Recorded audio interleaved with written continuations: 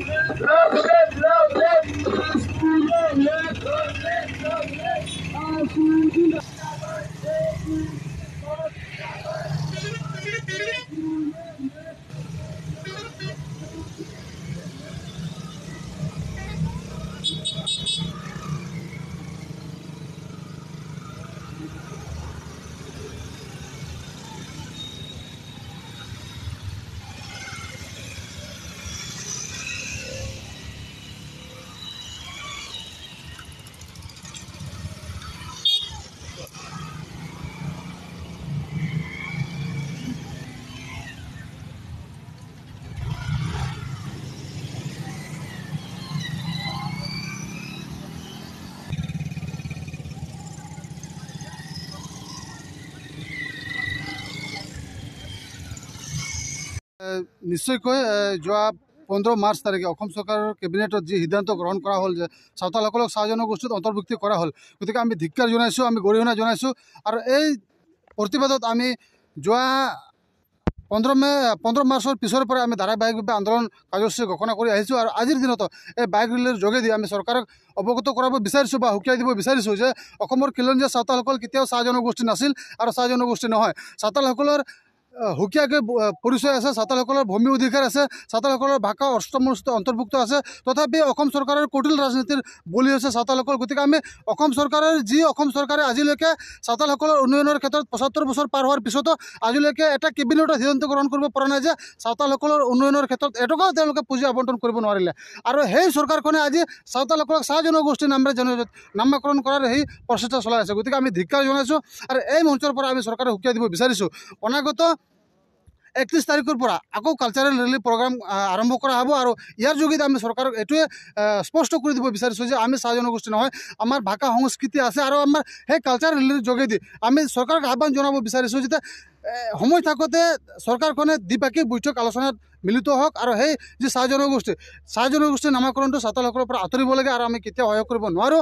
যেতিয়ালৈকে চাহ জনগোষ্ঠীৰ নামাকৰণটো কেবিনেট সিদ্ধান্তৰ জৰিয়তে প্ৰত্যাহাৰ নকৰে তেতিয়ালৈকে জংগী আন্দোলন সৃষ্টি কৰা হ'ব আৰু অনাগত ত্ৰিছ তাৰিখে ত্ৰিছ জুন তাৰিখে গুৱাহাটীত বিশাল জনজাগৰণ গণসংকাৰ চৰকাৰ বিৰোধী প্ৰতিবাদী কাৰ্যসূচী লোৱা হৈছে।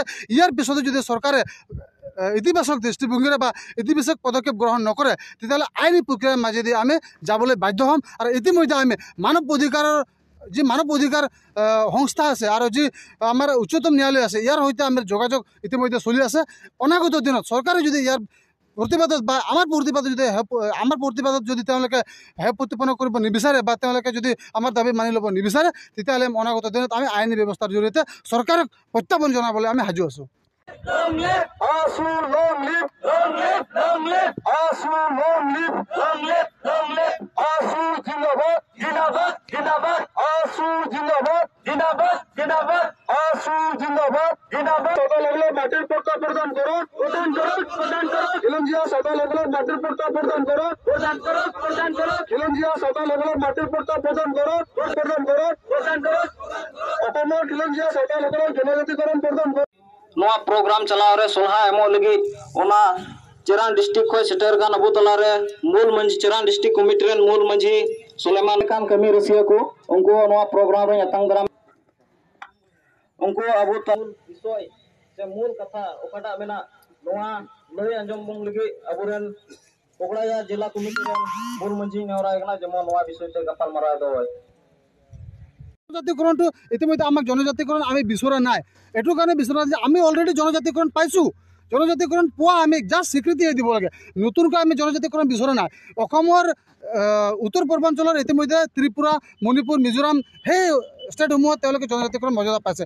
কেৱল চৰকাৰৰ মুনাফা আৰু চৰকাৰৰ ৰাজনীতিৰ কুটিল ষড়যন্ত্ৰ হৈ আমি ইয়াত জনজাতিকৰণৰ পৰা বঞ্চিত হৈ আছোঁ। গতিকে জনজাতিকৰণ আমাৰ মৌলিক অধিকাৰ আৰু সাংবিধানিক অধিকাৰ। ইয়াত নতুনকৈ আমি কাৰো দাবী কৰা নাই। আৰু মাটিৰ অধিকাৰটো হৈছে আমি যিহেতু সংৰক্ষিত শ্ৰেণীৰ মানুহ চাওতালসকল সংৰক্ষিত শ্ৰেণীৰ মানুহ প্ৰটেক্টেড ক্লাছৰ মানুহ। সেই প্ৰটেক্টেড ক্লাছৰ মানুহৰ মাটি আজি পানীৰ দৰত বিক্ৰী হৈছে।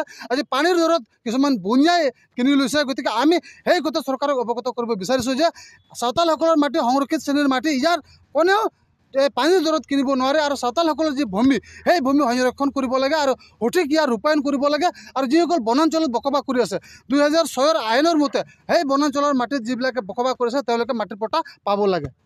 আজি বাইক ৰেলী এই কোকৰাঝাৰ জিলাৰ মুখ্য কাৰ্যালয় যে আমগুৰিৰ পৰা আৰম্ভ কৰা হ'ব দবৰাগাঁও চিমৰগাঁও চেৰফাংগুৰি আৰু আপোনাৰ আমগুৰি এনেকৈ হৈ আকৌ ইয়াতে সমাপ্ত হ'ব। গতিকে আজি ইণ্টিয়াৰ কোকৰাঝাৰ ডিষ্ট্ৰিক্ট ইয়াক সামৰি লোৱা হৈছে।